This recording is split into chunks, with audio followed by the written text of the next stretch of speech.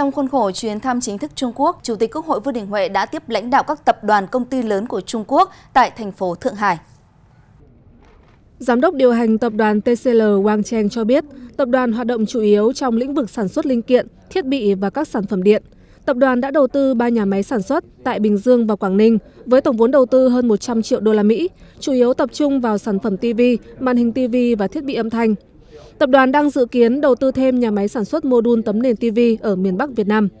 Chủ tịch Quốc hội Vương Đình Huệ đánh giá cao những kết quả đạt được của tập đoàn TCL tại Việt Nam, cho biết Quốc hội đã và sẽ tiếp tục tạo khung khổ chính sách pháp luật thuận lợi, tạo điều kiện để các nhà đầu tư nước ngoài đến làm ăn tại Việt Nam. Nêu rõ Việt Nam coi thành công của doanh nghiệp nước ngoài là thành công của chính mình. Chủ tịch Quốc hội cũng đánh giá cao ý tưởng thành lập chuỗi cung ứng của tập đoàn tại Việt Nam trong thời gian tới.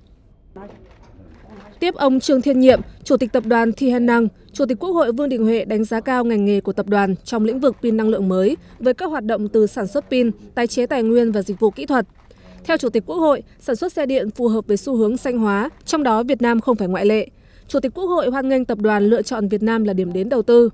Lãnh đạo tập đoàn Thi Hèn Năng cho biết đang có kế hoạch đầu tư dự án sản xuất ắc quy động lực tính năng cao, pin lưu trữ năng lượng công nghiệp và tuần hoàn tái chế tại tỉnh Nghệ An. Khi đi vào hoạt động sẽ đóng góp vào sự phát triển của địa phương cũng như Việt Nam, góp phần tăng cường quan hệ hợp tác thương mại đầu tư giữa hai nước Việt Nam Trung Quốc. Tại cuộc gặp Chủ tịch Quốc hội, Chủ tịch Tập đoàn Tech Hong Hong Tanju cho biết, tập đoàn là nhà sản xuất và phân phối sản phẩm sợi chỉ, vải, tấm vải dệt bông hàng đầu Trung Quốc. Là nhà sản xuất sợi lớn nhất Việt Nam, chiếm 25% tổng sản lượng sợi của toàn ngành dệt may. Từ năm 2006, Tech đã đầu tư 1,8 tỷ đô la Mỹ vào 16 dự án tại tỉnh Đồng Nai và Quảng Ninh, trong đó có khu công nghiệp chuyên sâu về dệt may tại Quảng Ninh.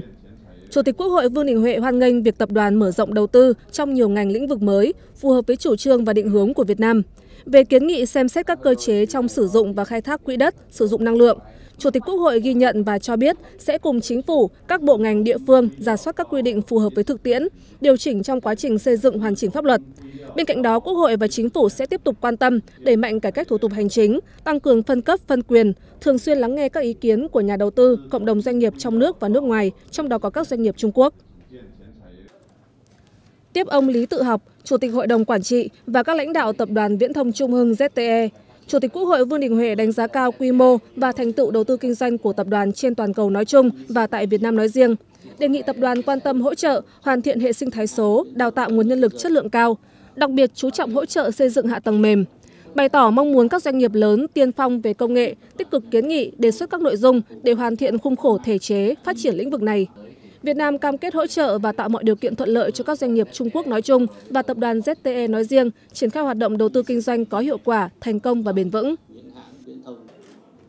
Tiếp ông Nghiêm Giới Hòa, người sáng lập tập đoàn xây dựng Thái Bình Dương, Chủ tịch Viện Nghiên cứu Trang Nghiêm, Chủ tịch Quốc hội Vương Đình Huệ đánh giá Tập đoàn Thái Bình Dương có nhiều ý tưởng lớn về đầu tư xây dựng và mong muốn tập đoàn sẽ thực hiện dự án xứng đáng với trình độ và quy mô của tập đoàn.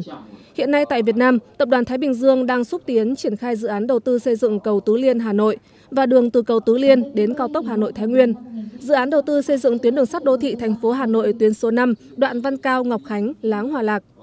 Chủ tịch Quốc hội rất hoan nghênh Tập đoàn Thái Bình Dương và thành phố Hà Nội đã ký ghi nhớ hợp tác về hai dự án này, mong tập đoàn sẽ có những dự án mang tính chất biểu tượng, mang tầm vóc quốc tế.